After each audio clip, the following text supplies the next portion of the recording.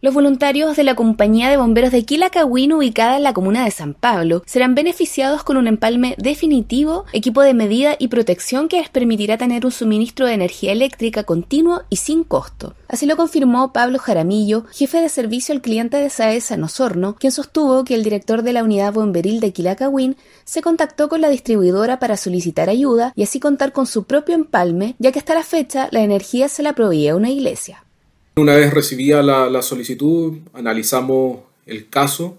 eh, y por ello fueron ingresados como un caso especial dentro del programa de conexión de sede, ya que si bien no es una sede como tal, lo más importante es poder ayudar a la institución que entrega un servicio a los vecinos del sector ante emergencia. Este programa entrega electricidad a sedes de juntas vecinales, organizaciones comunitarias, entre otras, que no han contado nunca con suministro eléctrico, por lo tanto permite el crecimiento de estas comunidades dado el rol de sede social como eje fundamental de la reunión y gestión y organización de sus interacciones. Eh, acudimos al llamado de esta compañía de bomberos de San Pablo con el propósito de ayudarlos en su labor a través de este aporte que se enmarca dentro del programa de conexión de sede, cuyo objetivo principal es brindar energía eléctrica a espacios utilizados por instituciones de la comunidad.